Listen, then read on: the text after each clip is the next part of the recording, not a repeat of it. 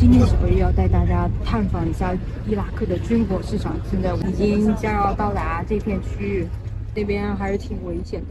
他说让我们坐这个出租车再过去。We want to to to to to to to to to to to to you know? Are you afraid? 他说，对于伊拉克人来说没关系，但是对于外国人来说很危险。是在萨德尔城的那边，然后我们现在一起坐三轮车过去，像卖菜一样的。What's it? What's it? AK AK 花生米，花生米正宗的花生米啊。How much? 呃，thirteen dollar. Thirteen dollar. 三十美金这么多，五十发。我觉得非常轻。妈呀！啊，好重，重的。他们都是笑嘻嘻的在这边，4 4像买菜一样，根本都不是说去军火。我要试一下这个枪，刚刚被撵下来了。他说等会警察来了，让我们走。很多人要过来跟我拍照，把我们给赶走了，被堵在这个车子里面，然后不能拍人。哎，no no no no no no no no no no no no no，哎，小哥非要给我付车费，no，这么好的小哥，no no no no，我来给钱。这小帅哥太好了，Thank you very much。因为五点钟才开门，现在我们要离开这里。现在下午时间五点，我又回到这个市场了。现在果然热闹很多，因为他们都是中午很热嘛，所以就一般下午出来。跳蚤市场里面人特别的多，而且人特别的杂。我现在已经完全忘了我们来之前中午去的那条路了。告诉我那边全都是隐藏在这个这么大一片区的跳蚤市场里面，没想到啊！发现这个市场里面一个女人都没有，就我一个，所以我刚刚干了个什么事，他们都围着我，围着我看，眼神不太友好，因为他觉得可能女性不应该来到这里。没想到军火市场竟然是在这大片垃圾堆上面，我的天啊，接受不了啊！这个后面很臭很臭，就在垃圾堆旁边卖东西。这个小哥，小哥说带我去看一下那个枪的地方，他比划了一下。OK，啊，看起来很像坏蛋啊，很多很多很多啊！这个，天哪！我天哪！认识了一个本地人带着我一起去开枪，不然的话很危险，真的很危险哦！这已经被围观了。我想问他这个多少钱？一千块钱人民币啊！哇，我被急死了！你看这个全是人，别看我。一个胖老板带着我一直转悠，看看看，哇，长枪，这个好长，哇，这个上面好多种啊，很多品种。他们这里。dollar dollar，听不懂。今天小玉打探到伊拉克最大的这个军火市场的内部。还是由着本地人带进来才可以进来的，摸一下这个真枪。有的不太欢迎我，赶紧走赶紧走。但是有的人还是挺热情的，特别多。这边一大片商铺，全部都是，全部都是。这个怎么用的？这老板太坏了。哦 my 你肯定实在想不到，这一片军火市场竟然隐藏在这么隐蔽的巷道里面，非常隐蔽。老板还给了我他的联系方式。刚刚老板邀请我去他家吃饭，我实在有点不敢去，我怕他到时候进去一屋子的那啥突突，然后再回头把我给绑了，那我就完蛋了。然后我跟他说我有点事，我先回去了。看的过瘾啊，过瘾！啊，现在小玉有什么这个供货商的联系方式了啊，你们懂的。现在我就回去了。我在巴格达的街头看到有卖小吃的，这个是什么？给我一个，一个。小哥很害羞，一个。啊，对，这个大哥在吃这个豆子，豆子。啊哦，切一下，OK，切切切。这好像是萝卜，哎呀，这就是萝卜，OK。还拿了个叉子，这是甜的应该，Thank you。还挺好看的。但我看本地人都喜欢吃这个豆子，像印度的那种豆子。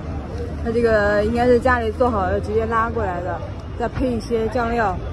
我尝一下啊，This good。OK good。这个应该是像蜂蜜，honey。啊，这交流起来有点困难。试一下这个，是萝卜，还是甜的？它那个黑色的酱料汁，应该是那个蜂蜜。没想到巴格达街头有这种吃的，觉得挺好玩的。感觉这个中午饭可以解决了。等一下来一份豆子啊，还没有问多少钱，很不错啊。就唯一一点觉得这个叉子可能是无限循环叉，你看那边的，没有洗直接用，很烂啊。还有那个大火一直在里面煮啊煮，煮的很烂。有的人问我想想弄的，我自己等一下买一碗。大叔很热情，看一下当地人付了一千，this one thousand，哦，这一千迪纳尔，差不多五块钱。How much? One？哦哦，这个也是一千，就是五块五块，十块钱吃饱。这个好大一份哦，就是那个鹰嘴豆加的应该是咖喱。然后你看它的招牌好搞笑，它有两个叉子，还有这个。OK，拜拜。都和印度的味道不一样。我跟你讲，感觉伊拉克的人特别喜欢吃酸的、甜的，这个不是很好吃，特别的酸。这锅里面还一直在煮呢，颜色很不错啊。刚吃两口，发现了有一个里面有一份荤菜，呃，再给我加餐了，感觉吃不下了。然后这个又不是很好吃，浪费了。在巴格达的街头弯，就看到卖小吃的，啊，让我尝一下，我尝一下啊，吃这个蚕豆啊，一碗，How much？哦，也是一千，OK。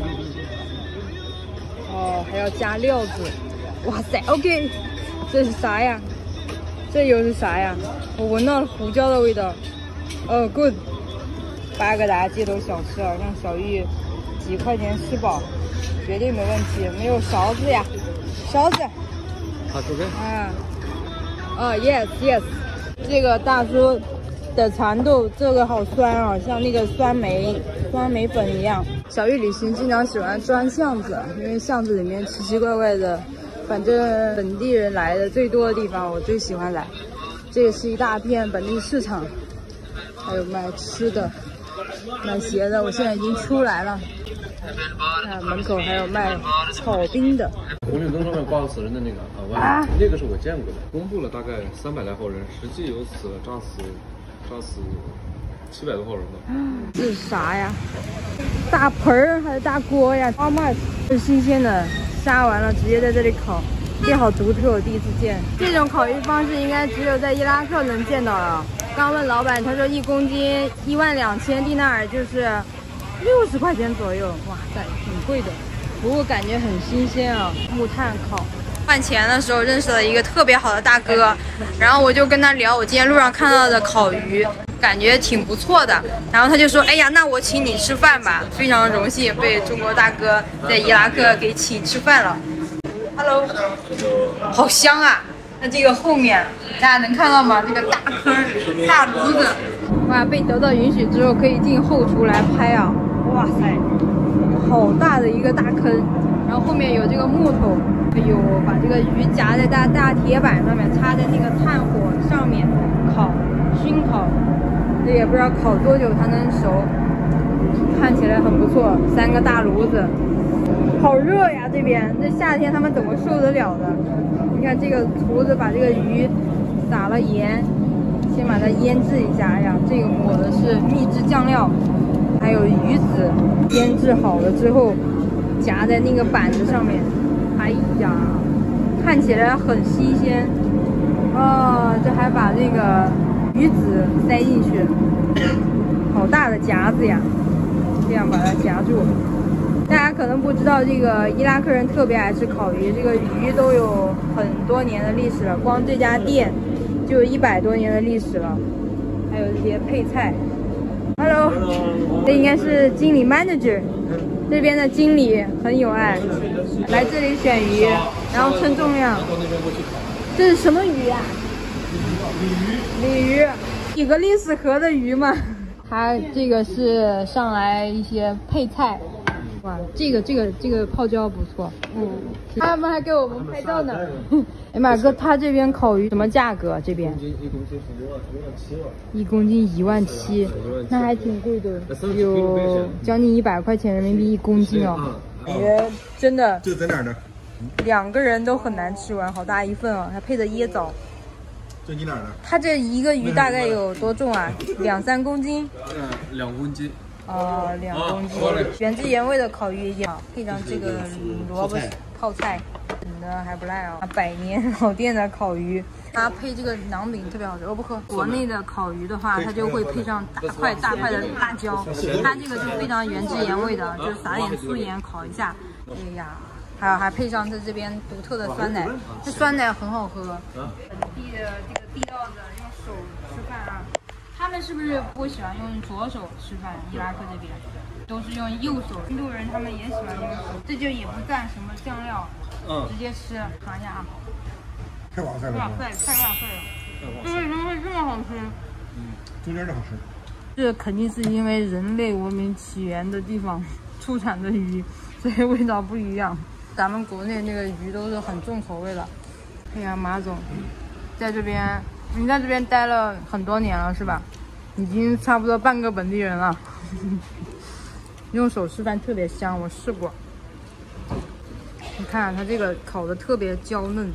哦，这是鱼子。鱼子啊，我特别爱吃鱼子。这一条这么大的烤鱼啊，差不多折合人民币两百人民币。然后这些配菜它是送的，对吧？嗯，对。它这种烤鱼的话，我猜它这个控制火候应该很难，因为那个底下都是炭火，我看。但是它这个鱼烤的又很嫩，很迷惑，怎么会这么好吃？如果来伊拉克，一定要尝一下伊拉克的这个炭火烤鱼，太好吃了。马总，我想问一下，你在伊拉克这么长时间，有遇到过什么危险吗？红绿灯上面挂着死人的那个啊，那个是我见过的，真的吗？啊，几几年的时候？一六年，一六年年底的时候，就在离这儿直线公里大概有两公里，是吧？哇塞！它炸了，炸了以后就死了，死了，就是就恐怖袭击嘛，爆炸是恐怖袭击，嗯，但是这事，嗯，发生的第二天、第三天，我去中国公司这边有个雇员不是去世了，因车祸去世，哎呀，我去太平间嘛，太平间。就是。政府公布了大概三百来号人，实际有死了炸死，炸死七百多号人吧。然后我是在那个爆炸现场，距离爆炸现场有个四百米，三百多米。然后我从那晚上十一点，我记得很清楚。就当时你也在？对，十一点三十多的时候我离开了。嗯。晚上，嗯。然后我刚到，因为距离我住的地方不是很远嘛。然后到以后我听到一声就是那个轰的一声。对。嗯。然后那个窗户不是在晃吗？它是什么炸？就是人肉炸弹还是什么绑在哪上面的？那车遥控车的这个后备箱里面装的。后备箱装的啊。就是一个是燃烧弹加什么什么它军用的那种炸药。嗯。然后把那栋楼给一栋楼都给炸了。嗯。那个小商场，商场全炸炸没了。它也是就是一场恐袭活动。那红绿灯上挂死人是真的吗？那是一九年的事儿。为啥呀？一九年当时游行的时候，那个挂的那个死人，应该那死人应该是个狙击手啊，要被人揪揪出来，揪出来以后把一个人。哎，那是一九年是十月一号，不是这边爆发了这个一九年，嗯，示威游行嘛，反政府派了很多这种狙击手啊，就在哦就被杀了，然后然后这就是暗杀，就是杀一些就是示威游行的这个。你当时有看到过吗？有。我面前有人打死了，被打死了。在你面前，这种事情我们只会在电影上面看到过，但是没想到发生在现实生活当中，而且还是现代文明社会。现在的话，那个治安情况就是怎么样？会不会？现在治安情况。嗯，情况现在现在可以是吧？看那个晚上还有好多人在外面。阿拉伯国家的生活习惯是吧？就是下午这边伊拉克的下午两点三点就下班了，公务员就下班，回家以后就是哎睡个下午觉是吧？然后七八点又出来晚上活动。两两三点就下班，嗯，太爽了。早晨是正常是早晨八点半上班，下午一点半下班，这是公务员。哦。学校学生也是累的。学生也是这样。嗯，早上八点上上课嘛，下午两点两点半就准时放学。那挺舒服的，然后晚上就出来活动。对，对我刚刚来路上看，好热闹呀。因为那个伊拉克是落地签，所以容易来，大家就很想知道这个治安问题。二零二一年年底放开这个签证嘛，签证以后就是这个在伊拉克的出行就比较方便了。对，然后像我们在这边的话，有没有啥需要注意的？就别瞎跑，别瞎跑。就我应该不用戴头巾啥的，就穿的要保守一些。嗯，这个哪里叫瞎跑？这个就是看你自己，但是不要穿的就是比较嗯，明白啊。然后就是尽量不要就是晚上单独出行。啊，整体的话，中安是还可以，还可以，还可以。